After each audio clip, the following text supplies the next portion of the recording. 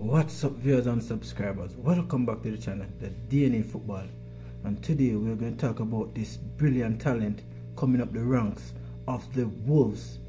Is a Jamaican national which go by the name of Dexter Lembikisa.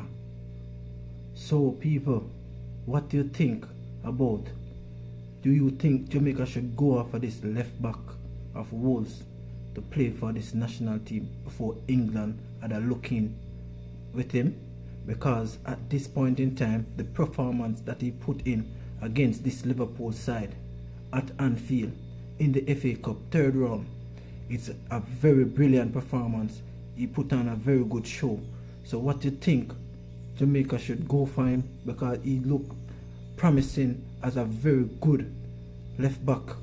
So people, if you want to hear more of this, please like, share, comment, subscribe to the channel for more update because I will give my my take on some stats on his performance as and, and his appearance in, in Wolves. So stay tuned.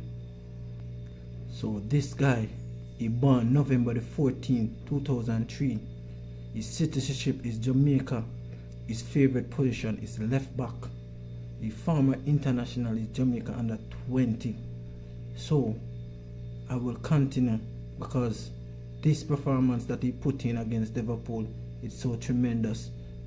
JFF and this and the coach Hallgrímsson have to take a look at this youngster because his performance against this Liverpool side it's so amazing so I have nothing more to but to say he played very well at that point. So at this time I will give you have one appearance in the Premier League. The total time that he played in the Premier League is 22 minutes. In the FA Cup he run on he start and play 68 minutes which that is good. He moved from 22 in the Premier League then the FA Cup which that is really good for him. And the EFL Cup that is the Carabao Cup he played 8 minutes. Premier League 2 playoff at the under 20 under 21 level. He, he played two times and played 198 minutes. That's a really good look for him. So people tell me down in the comment section what do you think about this little lad because he look promising for Jamaica and Jamaica scouting have to go at, after him at this time.